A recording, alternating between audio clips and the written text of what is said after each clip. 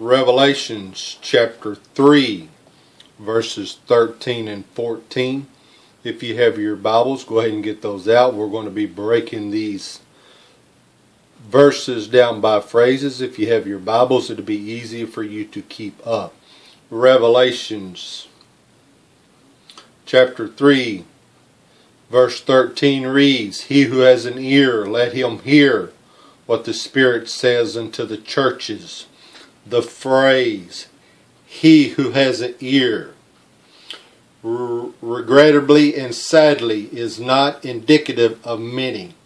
Men hear what other men have to say, but many seldom live close enough to the Lord to hear what He has to say.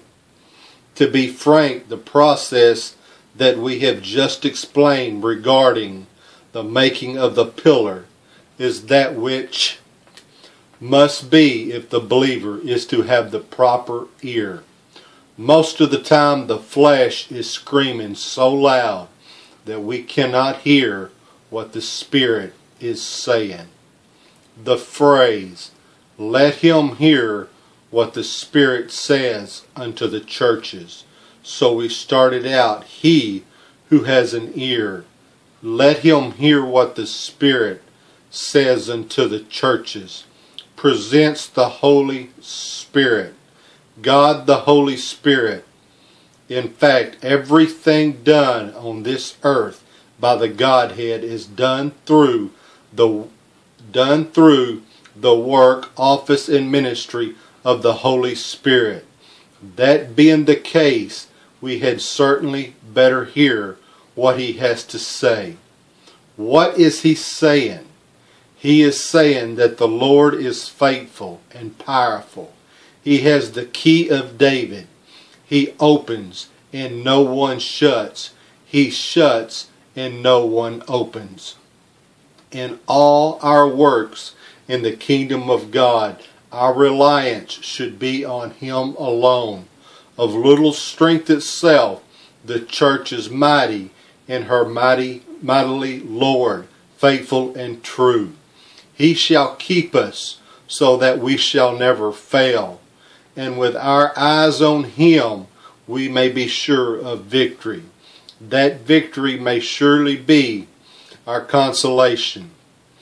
It shall be the victory of the eternal glory in the New Jerusalem, in the temple of God, and His tabernacle with men where we shall see him face to face and love him forever as he has loved us.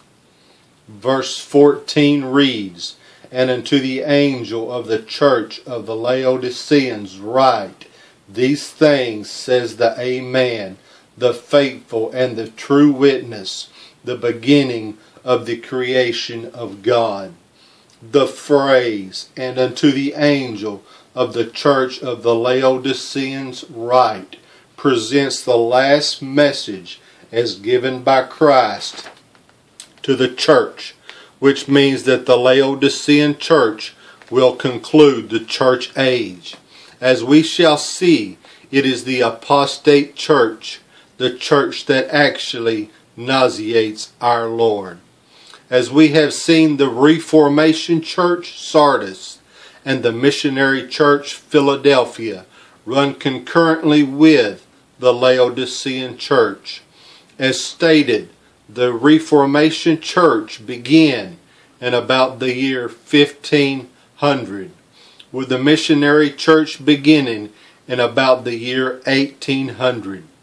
Exactly when the Laodicean Church began, we do not rightly know.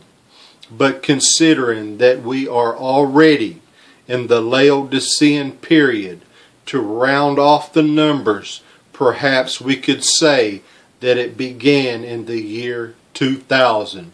Of course, as we well know, these things begin before these particular times, but perhaps one could say that they be, they be, they become obvious at the times mentioned we know that this church is the apostate simply because of what Jesus says in his message as we shall see.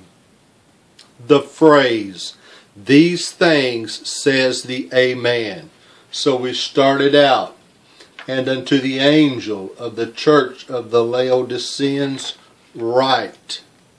These things says the Amen. Presents this word as the title applied to Christ. It means that he to whom it is applied is eminently true and faithful. What he affirms is true. What he promises or threatens is certain.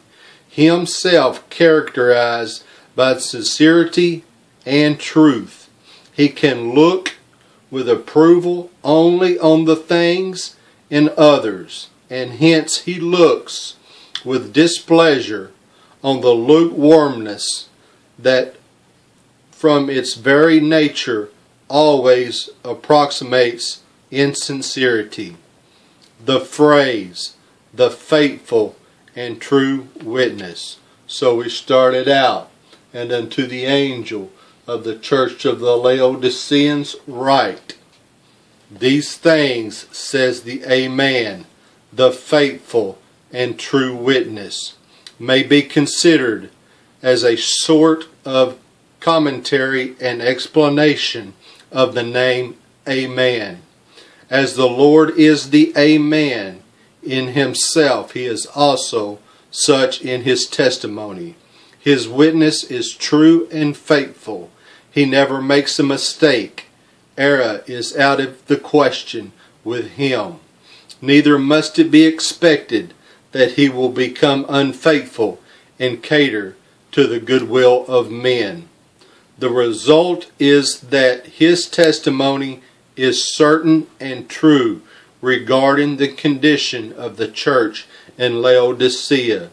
If in fact his testimony concerning them clashes with their own opinion of self, it is because the latter and not the former is erroneous.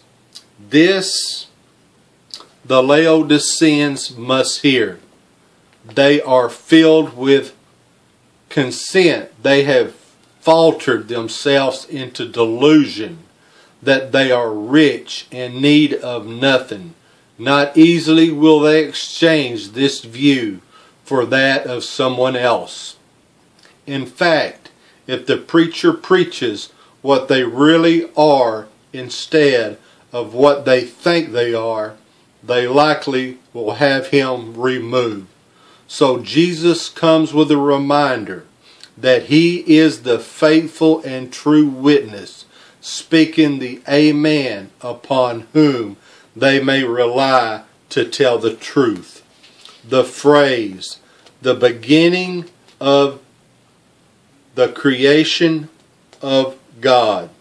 So we started out, and unto the angel of the church of Laodiceans write, these things says the Amen, the faithful and true witness, the beginning of the creation of God, corresponds with Paul's statement concerning Christ, who is the image of the invisible God, the firstborn of every creature.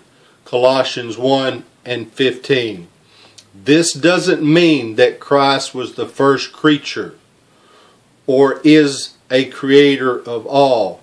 It actually means that he is the creator of all things. John 1 1 through 3. Firstborn in the Greek, as Paul used it, is prototokos and means first of all foremost the creator of that of which is being addressed. It is said by Greek scholars that there is no word in the English language that will properly translate prototokos. The word firstborn is the nearest they can come. Firstborn actually means the first brought forth the eldest. And even though that is the meaning as it is used in the Old Testament, when it comes to Christ, firstborn is a poor translation, translation, except when it was used of Mary bringing forth Christ in Matthew 1:25 and Luke 2 and 7. And that concludes Revelations chapter 3 verses 13 and 14.